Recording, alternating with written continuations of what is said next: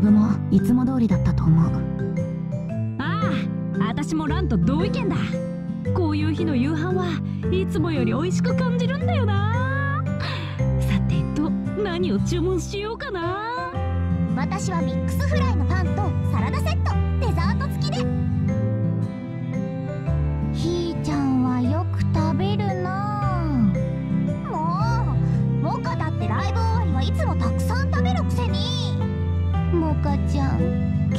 食欲がないんだよ。悲しい。モカちゃん具合でも悪いの？ランパパからの差し入れをたくさん食べたらお腹がいっぱいになっちゃって食欲がないんだよ。しくしく。はあモカ子供じゃないんだから食べる量くらい考えなよんのお父さん来てくれてたもんね。うん私フロアでちょっとだけ挨拶したの。ランに見つかると怒られるので楽屋には顔を出さないようにしてるって言ってたよ。ほんと恥ずかしいからやめてほしい。いいお父さんだと思うけどな。今じゃランのバンド活動ちゃんと応援してくれてるんだし。えけど私のお父さんが来たら実際ちょっと照れくさいかも。ほら絶対そうだって。みんな自分の親のことじゃないからそういう風に言ってられるんだよ。まあまあ毎度いいライブを見せられてるんだからいいじゃないか。いやーやっぱり今日もあれのおかげでいい演奏できたな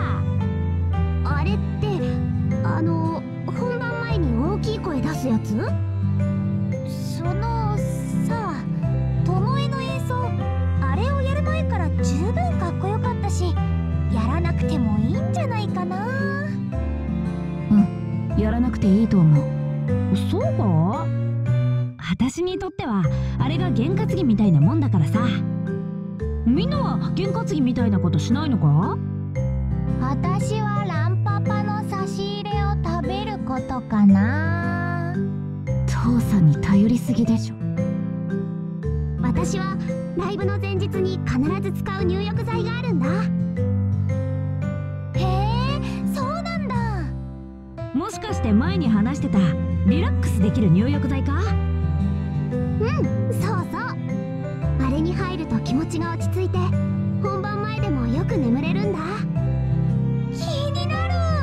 今度私にも教えて。うん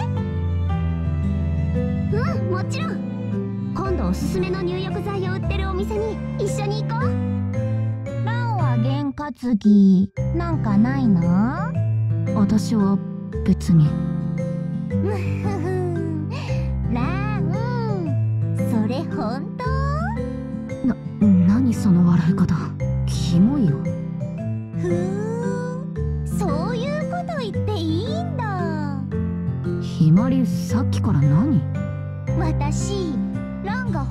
前に私が作ったお守りをギューって握りしめてるの見たんだけどな。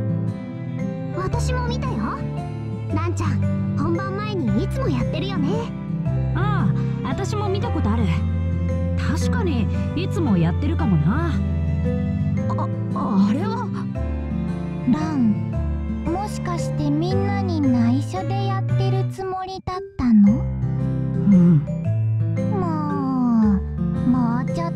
っとこっそりやりなよ。みんな知ってるよ。あのお守り。なんか変なパワーあるっていうか。そういう感じするから。ランがそうやってお守りを大切にしてくれてて嬉しいよ。作った甲斐があったってもんよ。っていうかさ私としては本番前にみんなで一緒に「えいえい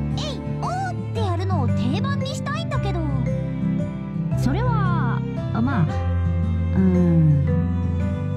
まあ験担ぎの仕方はそれぞれってことで。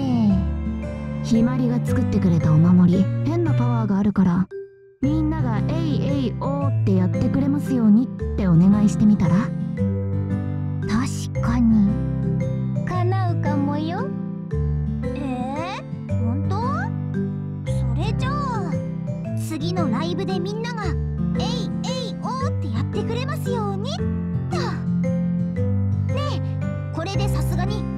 みんなやってくれるよね。ひひまりちゃんのお願い事叶うといいね。次のライブが楽しみだなひまり。